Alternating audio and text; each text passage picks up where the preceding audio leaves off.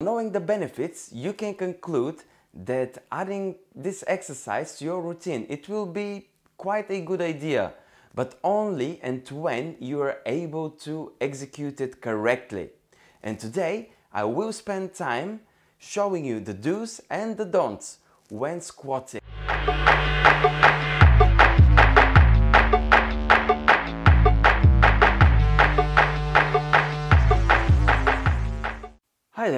I'm Plamen and you are with Project How To, a channel where you can learn how to do something new from zero.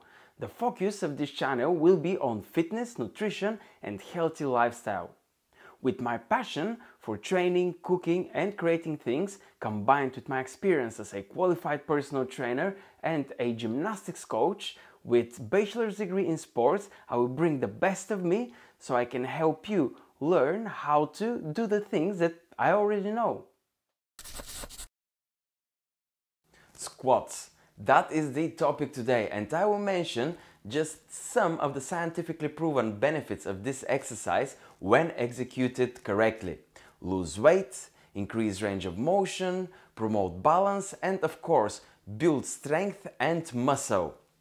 Now knowing the benefits, you can conclude that adding this exercise to your routine, it will be quite a good idea, but only and when you are able to execute it correctly. And today I will spend time showing you the do's and the don'ts when squatting. I will also give you a tip if you're struggling with the execution of the squat on how to make it easier for yourselves and what to do in terms to do it better. Even though we are doing the squats without a weight, the things that I'm about to mention, the things that you need to remember, they apply for the squats when you're doing it with a weight bar. And now I will go through those essential rules that must be remembered when performing a squat. I'll start with the do's first, what to do when you're performing a squat. And first one will be the stance. So you're gonna put your feet just slightly wider than shoulder width apart. That's it, like this. And you're gonna make sure you have your feet planted on the floor throughout the whole, uh, throughout the whole range of uh, the squat. Next thing to do is get your toes pointed slightly outwards. Although if you have them uh, pointed forwards, it is not wrong. That just means you have greater uh, range of motion in your joints, in your hips, in your ankles than most of the people. But ideally, you want them slightly out and that is how you're gonna perform the squat. The next thing is where you look at. You need to find a point in front of you and look at that point throughout the whole duration of the squat. So you're gonna look at that point when you're going down and when you're going up. Now, the next thing, we're gonna twerk. Can it work?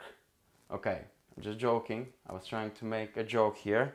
I don't know how successful that was, but what we're going to do is to try and stick your bottoms backwards as if you want to sit on a chair. So you're gonna go back and then you're gonna go up.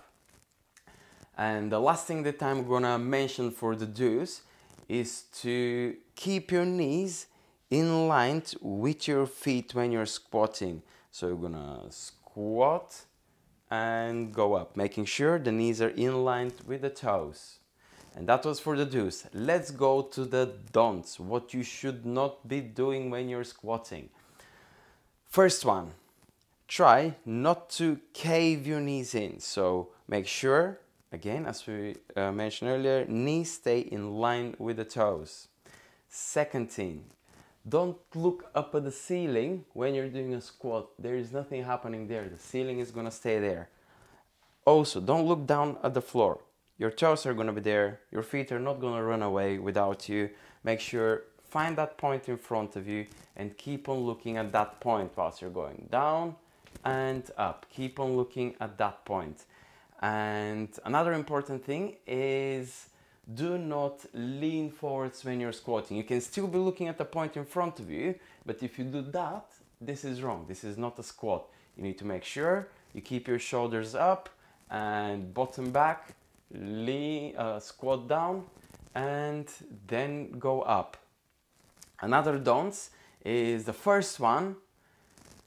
If you feel any pain in your joints, do not perform a squat. Probably that's not the exercise for you. And the next thing, if you start doing weighted squats, if you start doing the squats with a bar, don't put too much weight too early. Make sure you have the shape and the form of the squat correctly and then start adding weight slowly, slowly.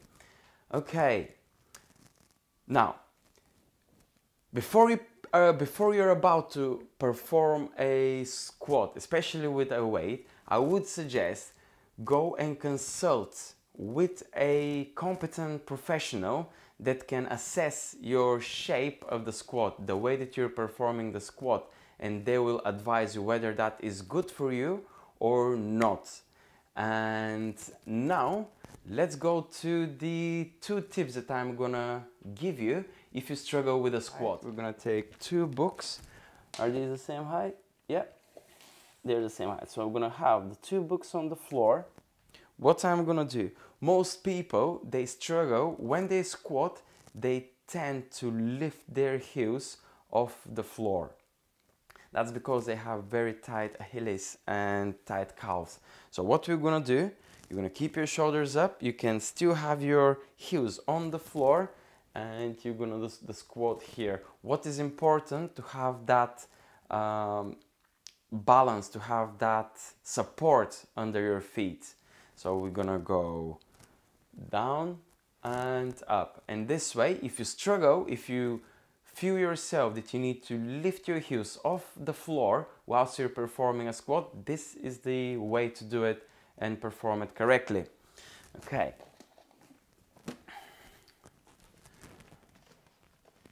Let's leave the books back here. And that, that next tip is for those ones who have problem, who are not strong enough, who, uh, that their legs are not strong enough to execute the squat. So you're gonna have a chair and you're gonna go in front of the chair. Again, same rules apply. Your feet are gonna be slightly wider than shoulder width apart, toes pointed slightly outwards. You can bring your arms in front of you and you're gonna squat until you go to the chair and then go up. Squat until you go to the chair and go up. When this one becomes easy, you can find something lower that you can squat onto.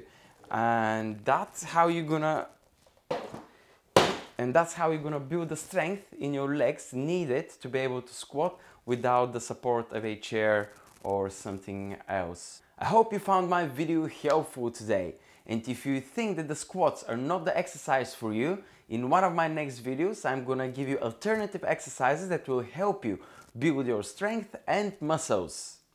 If you like the video, please give me thumbs up, that will really motivate me to keep uploading more videos. Subscribe to my channel and I will see you in the next one. Bye! Squats, that is the topic today.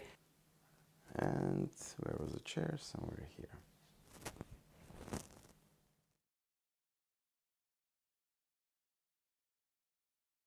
I'm Plamen and I am a qualified personal trainer as well as gymnastics coach.